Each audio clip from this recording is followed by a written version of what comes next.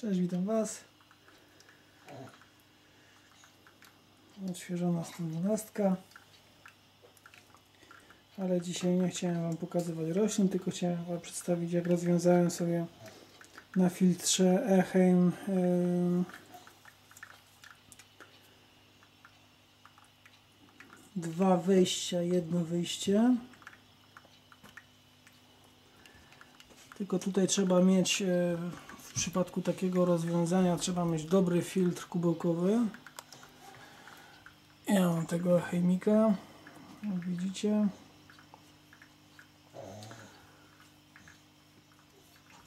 I teraz tak, na wejście filtru, czyli na mm, wejście rurki przewodu gumowego, przecina, przeciąłem go tak na odległości chyba 50 cm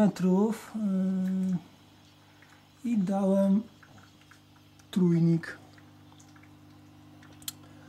Trójnik, moi drodzy, jest widoczny tutaj, tam widzicie ten trójnik.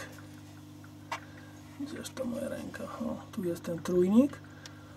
I w tym momencie e, za pomocą tego trójnika udało, udało mi się po prostu rozdzielić zasysanie wody na dwie części zbiornika. Tutaj po lewej stronie jest zwykły inflow, ten dolny, szklany, a po przeciwnej stronie mam szklanego skimmera, czyli mam pobieranie, czyszczenie powierzchni tefli akwarium i tam jak widzicie, o, może być nie widać, ale widać, tutaj jest dolne ssanie e, wody. Dzięki temu mam dwa wejścia, łącznie z filtracją, ściąganie syfu z powierzchni, czyli ze skimmerem. Jedno wyjście Lily Flow, Lily Outflow, to jest to co tu widzicie. Tak jak widzicie jest e, załączony kubełek, załączona kaskada. Tafla wody chodzi tak. Wszystko wygląda tak. Ten sposób rozdzielenia dwa inflow, one outflow ma swoje zalety. Nie trzeba o tym mówić, że macie ciągnięcie wody z dwóch przeciwnych e, narożników akwarium. Dlatego jeżeli prowadzicie prace pielęgnacyjne, czy to wyrywacie rośliny, czy coś tam z tym kombinujecie, w ciągu paru minut macie czysty, czysty zbiornik, bo syf macie zasysany z dwóch stron. Wadą tego rozwiązania jest e, kłopotliwość czyszczenia. Z racji tego, że ja już poszedłem w elementy szklane, to muszę angażować żonę do tego, aby mi pomagała wyciągać te e, elementy podczas, podczas, podczas czyszczenia. Samemu się tego nie da. Może i by się dało, ale za kosztowny, za, za, błąd może być za kosztowny, bo jak wiecie nie kosztują te szklane gadżety, rureczki 20 zł. Koszty są innego rzędu. Dlatego angażowana jest moja żona do pomocy przy tym temacie. I dodatkowy minus posiadania rozwiązania w ten sposób to jest trudności związane są z odpowietrzeniem układu. Czyli jak sobie odpowietrzy, jak sobie już włożycie te rurki na nowo założone, mm, to mm, przy otwarciu tam otwieracie sobie tą, e, tą, to pokrętło czerwone na heimie No i problem stanowi powietrze, bo zarówno w jednym wężu, jak i w drugim wężu jest to powietrze, pompka nam nie chce kręcić.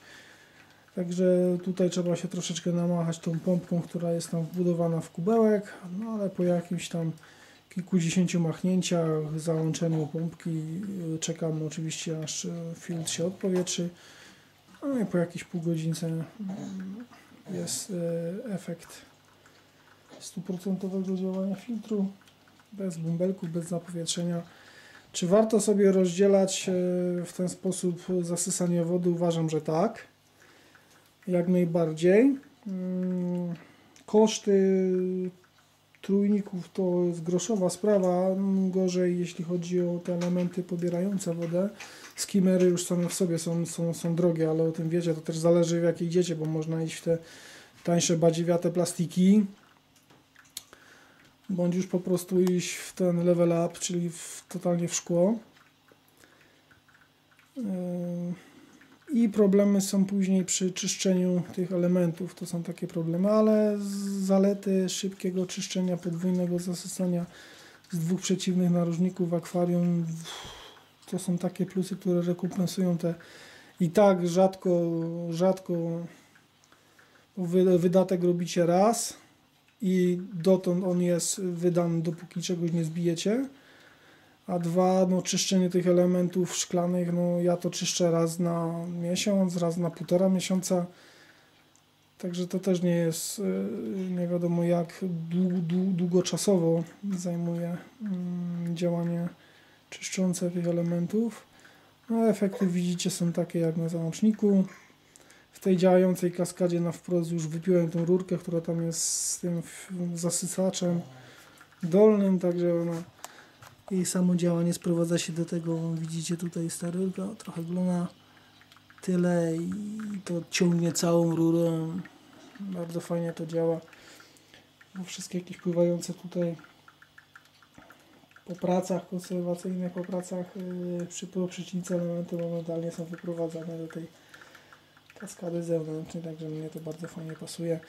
Ryby nie są głupie, żeby pod to popłynęły, żeby je zaciągły, bo zaraz uciekają. Ślimaków brak, rak tam nie podejdzie, także krewetek w tym zbiorniku nie mam. Tak to wszystko funkcjonuje. Akwarium wygląda jak sami widzicie, tak.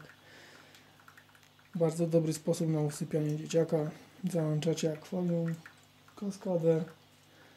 Ona słyszy jak szumi, do tego puszczacie CO2, dziecko po 10 minutach śpi i chrapie. U mnie się to sprawdza. Jak się podoba, to łapka w górę. Klikajcie gdzie potrzeba. Pozdrawiam, Dave. Zapraszam na kolejne materiały. Do widzenia. Hej, hej.